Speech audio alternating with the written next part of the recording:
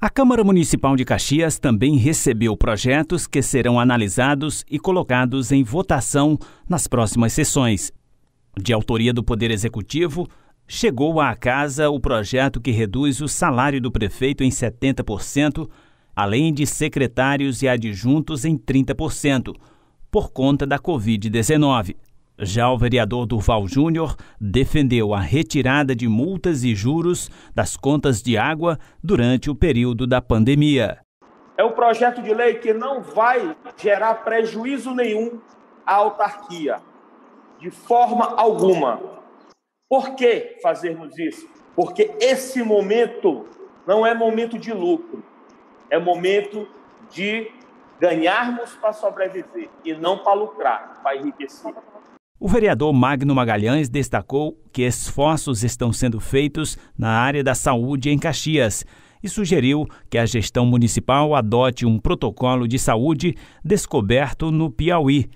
embora ainda hajam questionamentos sobre o uso da medicação recomendada para o enfrentamento à Covid-19. Nós temos sido um defensor árduo dessa bandeira porque nós entendemos que é melhor do que as pessoas irem para o respirador para uma UTI, onde a taxa de mortalidade ela varia de 70% a 90%, elas têm o seu tratamento feito em casa, com acompanhamento médico no PSF, na Unidade Básica de Saúde da Família, onde os custos do município diminuirão consideravelmente, posto que o tratamento é barato comparado com o custo de você usar o paciente no respirador, na UTI, usando a estrutura hospitalar, sem falar no risco de poder contaminar outros é, profissionais da área da saúde. Já o vereador Sargento Moisés destacou que formulou convite à secretária municipal de saúde, Socorro Melo, para que ela faça uma apresentação das ações que vêm sendo desenvolvidas na saúde em Caxias, no enfrentamento à Covid-19,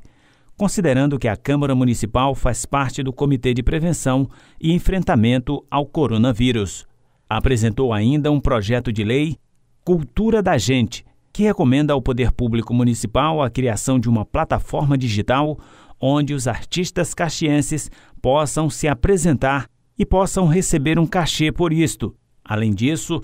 o vereador também apresentou uma indicação sugerindo um adicional de insalubridade para os profissionais de saúde durante a pandemia. Então, serve para todos os servidores da saúde, porque nós entendemos que em qualquer frente que ele esteja, tanto no tratamento quanto na atenção básica ou nos postos de saúde, de saúde e outras unidades, ele tem contato direto com o público e ele necessita também desse amparo.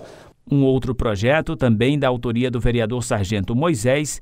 prevê a suspensão das obrigações de funcionários da ativa, inativos e pensionistas de terem descontos de empréstimos consignados durante a pandemia. Nos próximos 120 dias, ou seja, quatro meses, é, serão colocados ao final do contrato para que esse período ele fique mais é, abastecido de recursos para se manter durante a pandemia.